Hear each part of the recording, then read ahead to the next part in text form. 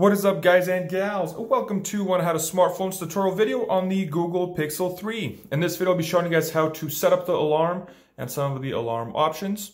So the first thing we're going to want to do is start off by going to your clock.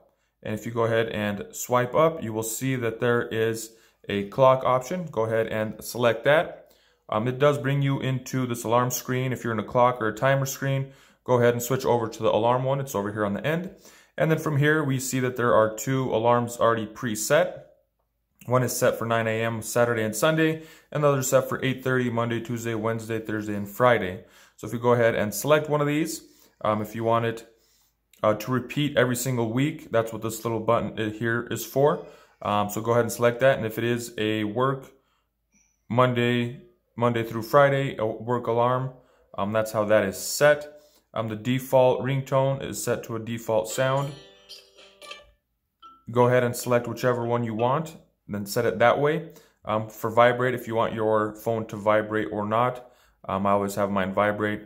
And then label, you can always add a name to it, whatever it is. If it's work, if it's um, school, whatever it is, um, you can label it.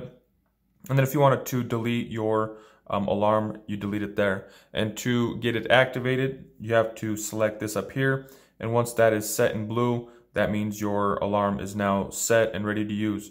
So your alarm is set, everything is good to go.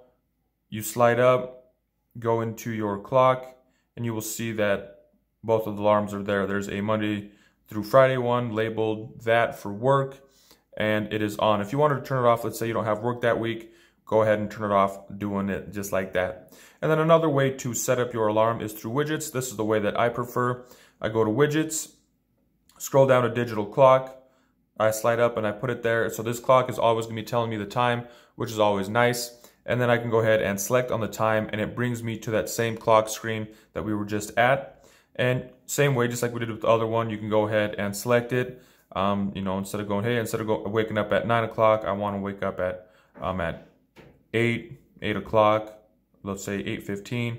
You can select AM or PM. And once you have that set, you can hit OK. And from there, you know, we're picking up the, the two, uh, the week end. Once again, you know, pick a ringtone that you like, select it, vibrate either on or off. You can label it.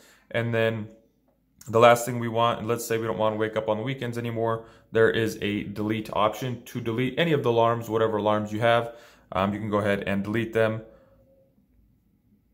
Delete, and it will delete that alarm. So if you guys saw that, I just went down here um, and I hit delete and it removed the whole alarm. So if you don't want any alarms on there, you can go ahead and delete them, remove them. But that is how to um, add the alarms on that Google Pixel. So there you guys have it. Just a quick tutorial on adding and removing an alarm, how to set it, how to turn it on and off, how to remove it, how to delete them. Um, hope you guys found this video helpful. If you did, go ahead, give me a thumbs up. And if you guys like to see other helpful tips and tricks on the Google Pixel 3, go ahead and check out that playlist in the description below. That's all I got for you guys in this one. Thanks for watching. Have a nice day.